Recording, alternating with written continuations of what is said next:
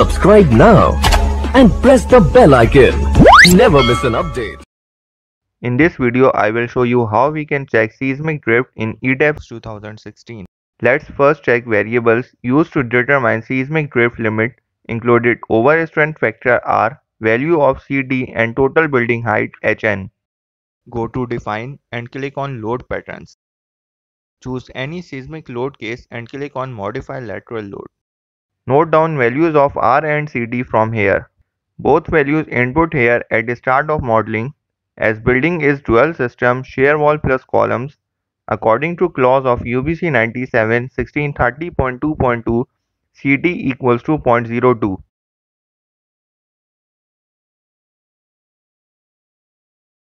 According to table 16-N of UBC 97, R equals to 6.5 for dual system shear wall concrete with concrete IMRF or intermediate moment resisting frame.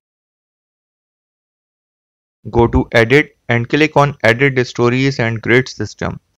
Click on modify show story data. Note down top story elevation which is 144 feet. Also note down base elevation which is minus 8.5 feet. Add both values which is total building height that equals to 152.5 feet. First calculate time period of building using approximate method according to UBC 97 clause 1630.2.2 T equals to CT Hn to the power of 3 by 4. Input values of CT equals to 0.02 and Hn equals to 152.5 feet in equation. I get T equals to 0.86 second. According to UBC 97 clause 1630.10.2, drift delta m shall not exceed 0.025 time story height having fundamental period of less than 0.7 second or drift delta m shall not exceed 0.02 time story height having fundamental period of greater than or equal to 0.7 second. In this case, I am getting time period which is greater than 0.7 second. Then we have drift delta m limit is 0.02 time story height. Inelastic response displacement delta m equals to 0.7 into r into delta s less than equals to 0.02 time story height. Rearrange this expression as 1 over 0.7 into r over 0.02 less than equals to story drift over story height. Because ETABS 2016 shows value of drift as resultant of 1 over 0.7 into r over 0.02.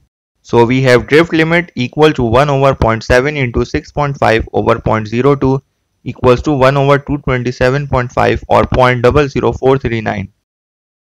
So seismic drift is in control when value is less than 0.00439 but if it exceeds 0.00439 building is not in seismic drift limit. Go to display and click on show tables. Check only option story drift Click on OK. Table is showing complete drift data result.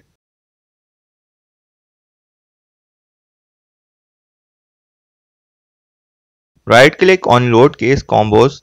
Select only EQX to filter seismic drift values on EQX load pattern. Checking drift in seismic load case of EQX. All drift values are in limit as values are less than limit of 0.00439. Similarly checking other seismic load cases of EQX PY, EQX NY for X direction. Select only EQY to filter seismic drift values on EQY load pattern. Checking drift in seismic load case of EQY, all drift values are in limit as values are less than limit of 0.00439. Similarly checking other seismic load cases of EQY PX, EQY NX for Y direction. This is how we can check seismic drift in ETABS 2016. If you have any question you can ask me using comment section. If you need any assistance in structural engineering or you want your structures to be designed, you can contact me through email address given. Do like, share and comment below in comment section. Also subscribe and press bell icon so that you will never miss any new video. Thank you.